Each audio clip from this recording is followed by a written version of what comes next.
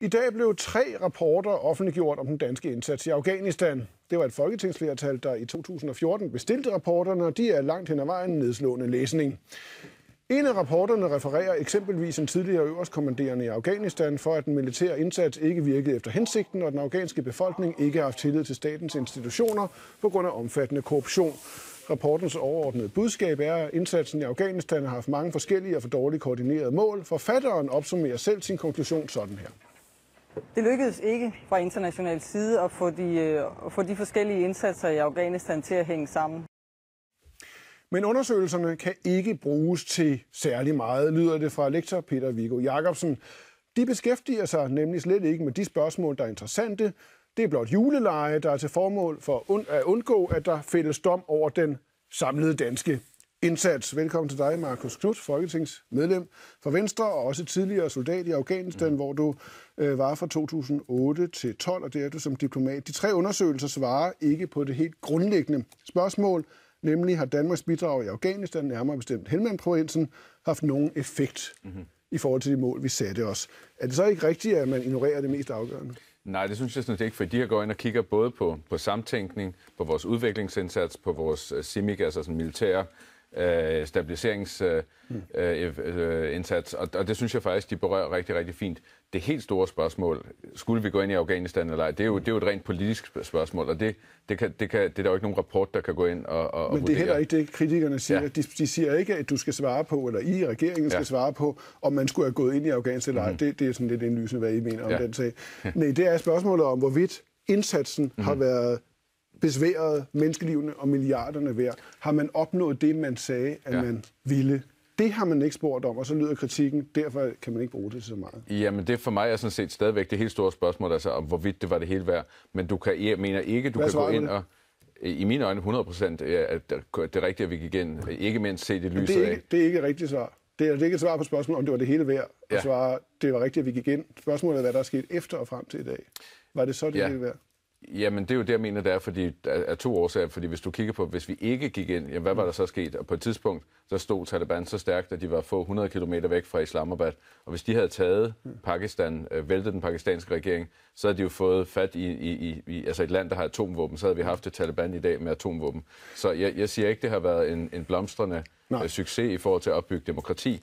Men beslutningen om, hvorvidt vi skulle gå ind, ja eller nej, den er jeg helt sikker på har men været det, den, den rigtige. Du blander det lidt sammen. Det nordmændene har gjort meget ja. klart, og det siger kritikerne af de tre danske rapporter også. De, de nordmændene har sagt, nu skal I undersøge det her meget ambitiøst og mm-hmm. til bunds, og I skal svare på dette spørgsmål. Mm-hmm. Har vores indsats gjort ja. en forskel i forhold til det, vi satte som mål? Og der er svaret nej ingen nævneværdig indsats. Ja, men, men der må du huske på, at Danmark øh, var øh, i, i, i uh, Nazaret-distriktet, som er et ud af 365 distrikter i, ja. i Afghanistan. Så man kan ikke bare gå ind og sige, okay, hvad, hvad har den danske indsats ført til? Fordi vi, vi var jo et ud af rigtig, rigtig mange lande. Det har nordmændene så, gjort. De har sagt, i forhold til, hvad nordmændene har bidraget med, i de ja. områder, hvor nordmændene brugte deres tid og deres kræfter og mm-hmm. deres ressourcer, har nord, den norske indsats så haft nævneværdig indflydelse? Jamen, Svaret Nej. Og, og ja, de går så ind og kigger på både forholdet til USA ja. for, i forhold til terror. Det er det, vi taler om her. Ja. Vi taler om forhold Men, ja. om, altså, på jorden i Afghanistan. Ja, og, og det, det, det er jo det, jeg mener, at de her rapporter gør udmærket. Både ved at se på, hvad har vores militære stabiliseringsindsats gjort, hvad har Men vores der er ikke nogen rapporter, der svarer på det spørgsmål. Har øh, Danmarks indsats haft en nævneværdig indsats, eller effekt? Jamen det, det tror jeg nu taler meget klart for sig selv. Altså, der er jo, Danmark har jo blandt andet haft koordinationsansvaret på ja. uddannelsesområdet, og der er jo op mod 10 millioner børn, der, der går i skole i dag. Altså, det er jo, der, der, er, der er jo sket markante fremskridt. Men der er det så, du men, siger, at, at hvis man havde lavet sådan en undersøgelse, ja. så ville man nå frem til et andet resultat end det norske, hvor de siger, at det, ville ikke, det havde ikke nogen nævneværdig effekt. Ja. Der vil konklusionen af en sådan dansk undersøgelse være det modsatte. Vi havde en, det havde en nævneværdig effekt. Jamen, jamen det, altså det, jeg står fast på, er, at Danmark, øh, for det første i Helmand-provinsen arbejdede vi både med, med britter, britter og amerikanere. Ja øh, som også var i vores område. Vi var også til stede i områder uden for Geresk-området. Vi har også været i forskellige andre øh, provinser. Vi har været aktive i Kabul. Ja. Så det er ikke bare så sort-hvidt at gå ind og sige præcis, hvad har den danske indsats gjort, fordi vi har været delt af et, af et kæmpe, kæmpe billede. Så ja. du er nødt til at sige, jamen hvad har hele Afghanistan indsatsen Men det er det, nordmændene har gjort. De har kigget på hele indsatsen, ja. og så konkluderer de, i første sætning. Mm-hmm. Det havde ingen nævneværdig effekt. Lad os spørge en ekspert, så Sune Ingen Rasmussen.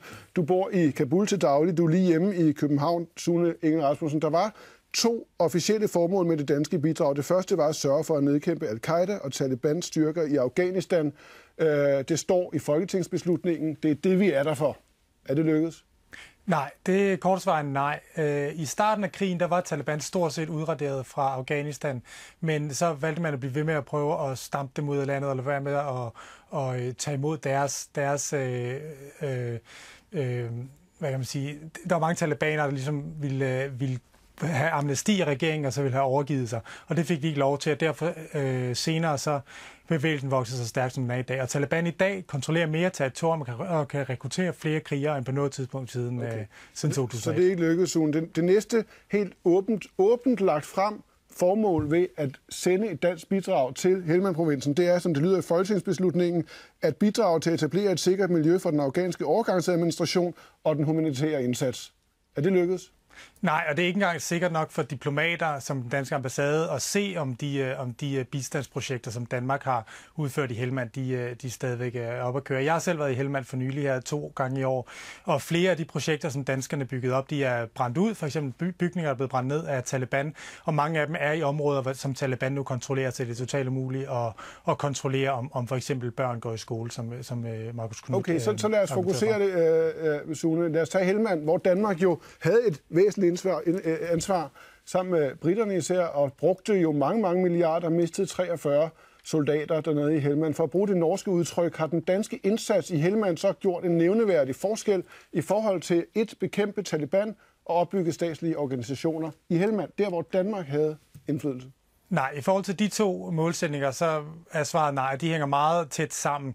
Øh, et eksempel for eksempel er, at mens Taliban kan rekruttere flere øh, krigere, end de nogensinde kunne før, så er sikkerhedsstyrkerne totalt gennemsyret af korruption. Øh, og der er afghanske embedsmænd, der har sagt til mig, at 40 procent af politifolkene og soldaterne i Helmand, de eksisterer simpelthen ikke. Og det har noget at gøre med korruption, med kommandører, som, som tager lønninger uden egentlig at have folk, som står på lønninger. Altså de soldater, de Danmark bidrager til at træne, eksisterer ikke, for at sige det sådan lidt polemisk. 40-50 procent blandt andet, ja. Godt, så skal du have. Markus Knudt, det lyder som om, at konklusionen i Danmark vil være den samme i forhold til den danske indsats. Ingen nævneværdig effekt, det, det, hvis jeg, man skal være venlig. Nej, jamen, jeg, jeg er lodret uenig, fordi vi valgte at gå ind i det nok aller, aller hårdeste område i hele Afghanistan. Hvad er du lodret uh, uenig af det, du lige har hørt? Nej, men vi, vi, valgte, jamen, vi, vi skal jo se på hele Afghanistan som helhed, hvor du for det første har fået millioner af unge mennesker i skole, som ligesom er grobunden øh, for, for det fremtidige Afghanistan. Er, hvad det danske bidrag ja, har haft af indflydelse. Men, men vi valgte jo at gå ind i det aller, aller hårdeste område. Det er også derfor, vi har lidt nogle af de hårdeste tab. Og der er du nødt til at se på, jamen, hvordan har vores indsats virket i forhold til det samlede billede, altså det hele, hele Afghanistan. Så er jeg godt klar over, at Helmand stadigvæk i dag øh, er et meget ustabilt sted, øh, mm. og nogle af vores projekter er gået tabt. Det har selv været med til, da vi, eller at indse, da vi trak os fra, men nu lad os sige, men, men, nogle af de nordlige baser. Men du siger det samlede Afghanistan. Altså, ja. vi har lige hørt en rapport, der siger, at, at uh, 2015 mm-hmm. har været det, det, det mest voldelige år i Afghanistan i mange år. Altså antallet af ja. terrorangreb, bomber og civile ofre er større end i mange, mange år. Der har også været en anden rapport, der viser, at øh, institutionerne bliver mere og mere usikre og ustabile. Afghanistan bevæger sig opad mod førstepladsen af ja. ustabile stater i verden sammen med Somalia og Sydsudan osv. Så, så det samlede billede, som du refererer til, der har der heller ikke været nogen nævneværdig effekt. Jeg, jeg ved, hvordan Afghanistan så ud i 2008, da ankom, hvor krigsherret meget det var, og der rejste i 2012, øh, så man piger, der gik i skole, man så unge piger, der gik på universitetet uden burka, øh, uden at skulle være eskorteret af en mand. Altså, der, der er,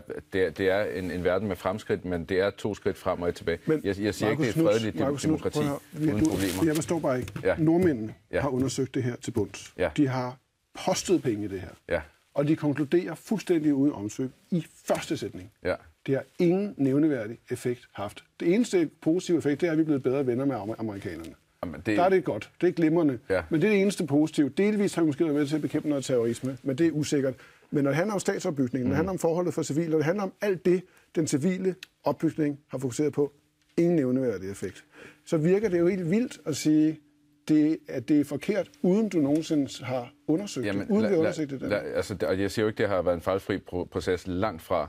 Uh, en af de områder, jeg sad med sidst, der var ude som diplomat, var opbygning af det afghanske politi, hvor vi havde en fuldstændig absurd situation. Italienerne var blevet sat til at opbygge en afghanske retssamfund. Det var overraskende nok ikke gået særlig godt. Så først i 2007 eller 8 vælger man at sætte EU ind for at træne det afghanske politi. Okay. Siden den, er, altså, jeg mener, det er over 100.000 politifolk er, er nu aktive.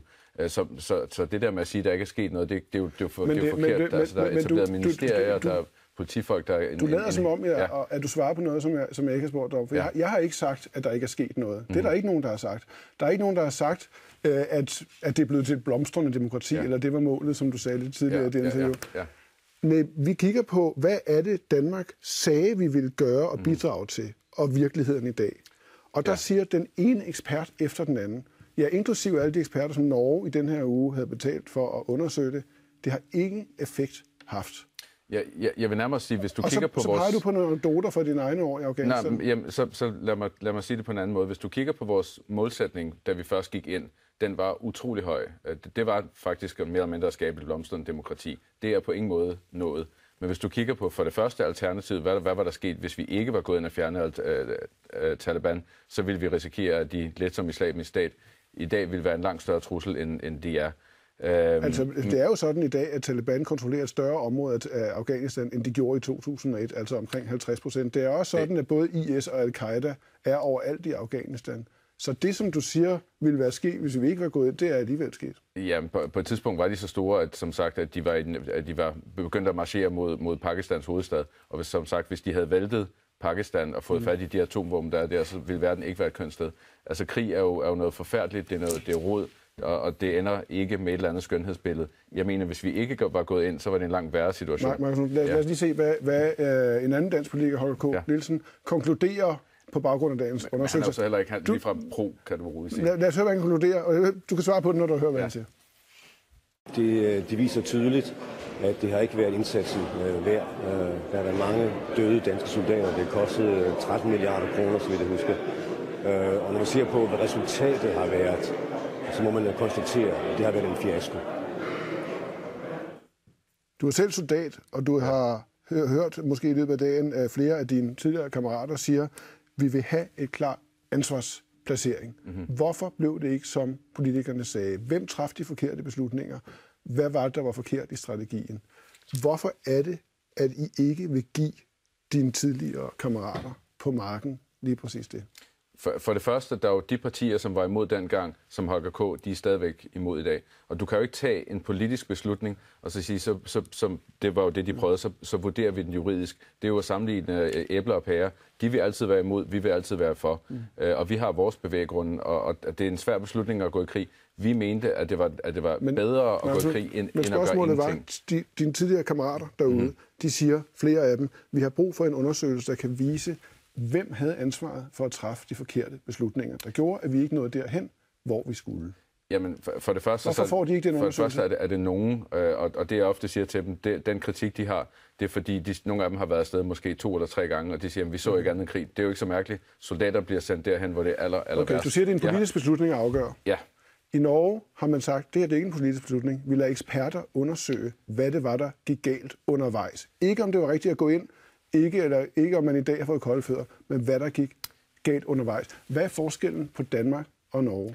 Jamen, det er jo det, jeg mener, vi har gjort i det her, hvor man sågar har delt det op i samtænkning, i udvikling, i stabilisering og sagt, hvad har vi, hvad kan, hvad har vi lært af det her? Vi kan være bedre til at bekæmpe korruption. Har man Vi svaret på spørgsmålet i de her tre rapporter og undersøgelser? Har man svaret på spørgsmålet, opnåede vi det, vi sagde, vi ville? Jamen, det mener jeg ikke, du kan kan komme med sådan et ja-nej-svar. Det er jo det, fordi vi er del af en, en kæmpe international indsats. Øh, og jeg mener, hvis vi ikke var, hvis Danmark ikke var gået ind i det her område, vi havde nogle af, eller har nogle af de bedste soldater, så jeg synes, det var fair, at vi gik ind i et rigtig hårdt område. Dem, der tog derned, tog derned vel, vel, velvidende, at det var et hårdt område med de risici, der nu engang var. Tak fordi du kom.